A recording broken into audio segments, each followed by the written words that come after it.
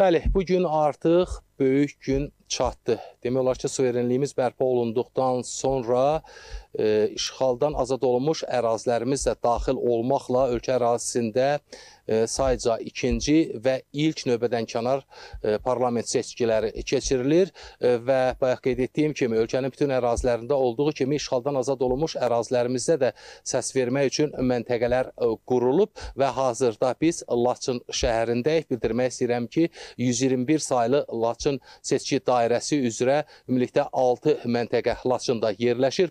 Bunlardan ikisi 105 və 106 saylı məntəqələr Laçın şəhərində, digər 107, 108, 109 və 110 saylı məntəqələr fərqli kəndlərdə Zerti, Qorçu, Zabux və Sus kəndlərində yaradılıb.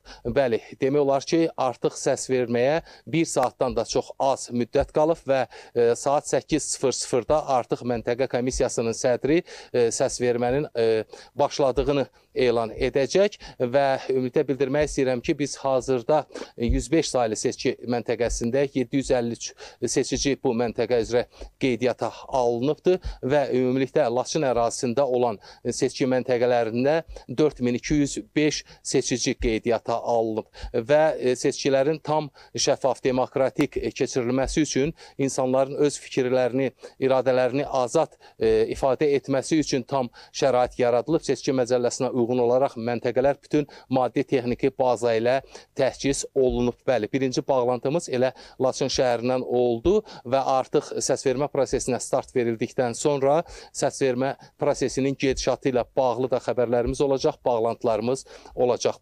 Laçından hələ ki çatdıra biləcəklərim bunlardan ibarətdir. Sözü yenidən sizə veririk.